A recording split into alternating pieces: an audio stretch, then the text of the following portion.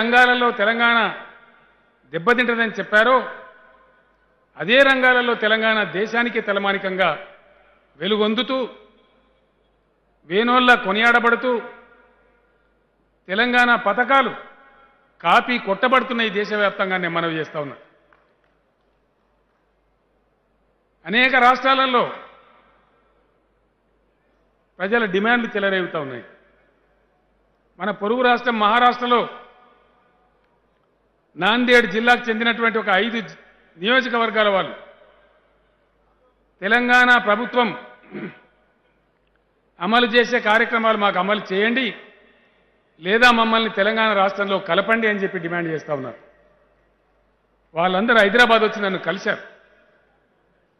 నిన్నగాక మొన్న రాయచూరులో కర్ణాటకలో జరిగినటువంటి ఒక సభలో రాయచూరు ఎమ్మెల్యే గారు ఆ కర్ణాటక రాష్ట్ర మంత్రి సాక్షిగా ఆ సభలో మంత్రి గారు కూడా ఉన్నారు. ఆయన ముందే తెలంగాణ రాష్ట్రంలో అమలు చేసే పథకాలు మాకు అమలు చేయండి లేదా మా రాయచూరును తెలంగాణలో కలపండి అని చెప్పి బహిరంగంగా స్టేజ్ మీద ప్రకటించినారు. నిన్న మొన్న ఆంధ్ర ప్రాంతం నుంచి దళిత బంధు ఉద్యమాన్ని మనం చేపట్టిన తర్వాత వందల వేల విజ్ఞాపనలు ఆంధ్ర రాష్ట్రం నుంచి కూడా వస్తూ ఉన్నాయి.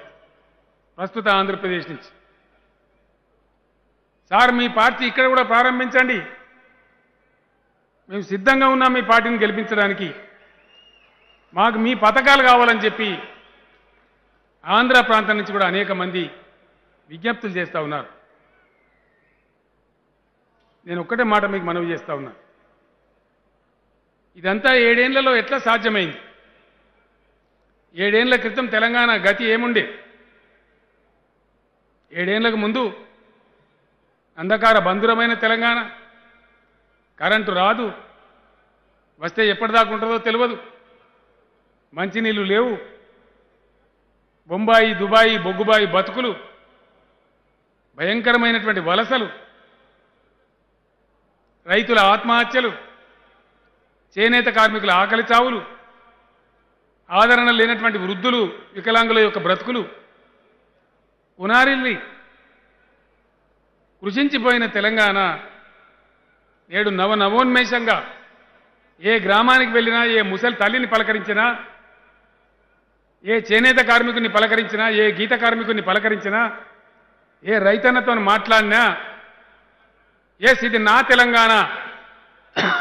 నేను సగర్వంగా ఈరోజు తల ఎత్తుకొని బతుకుతున్నా అని చెప్పి చెప్తున్న తెలంగాణ. పండించిన ధాన్యాన్ని పండించడానికి తెలంగాణ రైస్ మిల్లులు సరిపోవడం లేదు.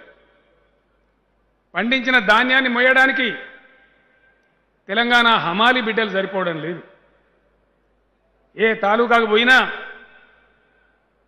పెద్దపల్లికి పోయినా మిర్యాలగూడకు పోయినా సిద్దిపేటకు పోయినా సూర్యాపేటకు పోయినా మొత్తం బీహార్ ఉత్తరప్రదేశ్ జార్ఖండ్ నుంచి హమాలీలు వచ్చి పనిచేస్తూ ఉన్నారు. వరి నాట్లు కూడా బెంగాల్ నుంచి ఉత్తరప్రదేశ్ రాష్ట్రం నుంచి వచ్చి కూలీలు తెలంగాణలో నాట్లేస్తూ ఉన్నారు. అవన్నీ పేపర్లలో టీవీలలో ఫోటోల రూపంలో వస్తూ ఉన్నాయి. ఇంత త్వరితగతిన ఇంత గొప్ప అభివృద్ధి ఇంత గొప్ప ఆవిష్కారం సాధించింది తెలంగాణ టీఆర్ఎస్ పార్టీ నాయకత్వంలో. టీఆర్ఎస్ నాయకుల ఆధ్వర్యంలో చాలా చాలా భేషజాలు వదిలిపెట్టి నా మాటను గౌరవించి వారికి ఉన్నటువంటి అధికారాలను కూడా వదులుకొని ఈ కార్యాన్ని సాధించడంలో ముందు నిలిచినటువంటి నా తెలంగాణ టీఆర్ఎస్ పార్టీ శాసనసభ్యులకు శాసన మండలి సభ్యులకు పార్లమెంట్ సభ్యులకు వివిధ స్థాయిలలో పనిచేస్తున్నటువంటి స్థానిక సంస్థల ప్రజానిధులందరికీ ఇంత గొప్ప అభివృద్ధిని సాధించడంలో భాగస్వాములై ఆవేశపూరితంగా నాతో నడిచినందుకు మనందరికి కూడా నేను శిరస్సు వంచి నమస్కారాలు కూడా తెలియజేస్తా ఉన్నా. ఒక వ్యక్తి వల్ల సాధ్యం కాదు. ఒక ప్రభుత్వం వల్ల సాధ్యం కాదు. తెలంగాణలో ఉండే ఎమ్మెల్యేలు ఎంపీలు ఎమ్మెల్సీలు జిల్లా పరిషత్ చైర్మన్లు సహకార బ్యాంక్ అధ్యక్షులు మున్సిపల్ ప్రజాప్రతినిధులు సర్పంచులు ఎంపీటీసీలు అందరూ కూడా కంకణబద్దులైతే తప్ప ఇది సాధ్యం కాదు. మనం చేసిన ఆవిష్కరణ మాటలో తమాష ఉంటుంది. కానీ ఈ దేశంలో ఎక్కడ కూడా లేదు. ఏ రాష్ట్రంలో కూడా లేదు. కనీసం ఆలోచన కూడా లేదు. ఆయన పెట్టొద్దని ఎవరున్నారు అసలు ఇండియాలో ఎక్కడైనా పెట్టొచ్చు. ఏపీలో ఆయన పార్టీ పెట్టొచ్చు. లేదా ఆయన వ్యాఖ్యలు తీసుకుని వీళ్ళిద్దరి మధ్య కూడా ఏమైనా సంబంధం ఉండటం అట్లా. వాక్యాలు వ్యాఖ్యలు తీసుకుని చంద్రబాబు నాయుడు గారు ఒక కామెంట్ చేశాడు. చూడు చూడు ఆయన అంటున్నాడని. ఆయన వెనక్కు తిప్పి లాగి తరినప్పుడు తెలియదు. ఆడ నుంచి తరిగినప్పుడు ఇక్కడికి వచ్చినప్పుడు. మరి అక్కడ ఏం అండర్స్టాండింగ్ ఉన్నాయో తెలియదు. ఆయన ఎందుకు అన్నాడో తెలియదు. మాటలే ఉంది ఎన్నైనా మాట్లాడచ్చు. నిజంగా పెట్టాలంటే కూడా పెట్టచ్చు. ఒకవేళ అడగాల్సిన అడగకపోయినా కూడా వచ్చి పెట్టచ్చు. ఆఫ్టర్ ఆల్ మన కంట్రీలో ఏం ఒకరి పర్మిషన్లు కావాలన్నా.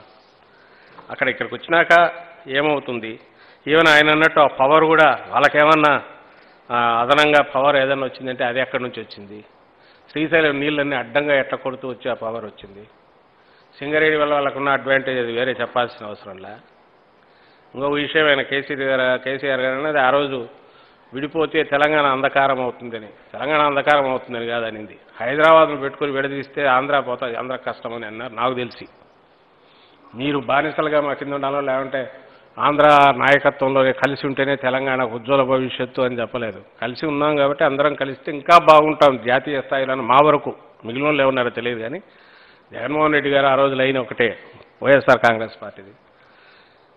ఉమ్మడి ఆంధ్రప్రదేశ్ అనేది టాప్ కంట్రీలోనే నంబర్ వన్ కావడానికి సకల అవకాశాలు ఈ కోస్ట్ లైన్ కానీ అక్కడ హైదరాబాద్ లాంటి క్యాపిటల్ కానీ రెండు కలిస్తే వచ్చే దీనివల్ల ఉండే అడ్వాంటేజెస్ వీ విల్ మిస్ అండి.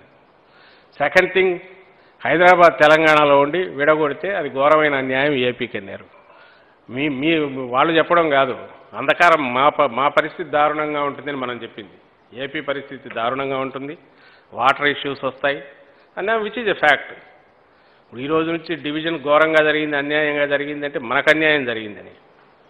ఆయన చెప్పింది ఒక రకంగా వాస్తవం కూడా. కానీ తెలంగాణ అంధకారం అనలే. మన బతుకు అంధకారం అవుతుంది. ఎందుకంటే అడ్వాంటేజెస్ అన్ని ఆ వైపు వదిలి స్టేట్ సపరేట్ అవుతామన్న వాళ్ళకు క్యాపిటల్తో సహా మొత్తం అడ్వాంటేజెస్ ఇవ్వడం. వద్దు కలిసి ఉందామన్న వాళ్ళను విడదీసి బలవంతంగా ఎలాంటి అడ్వాంటేజెస్ ఇవ్వకుండా పంపడం.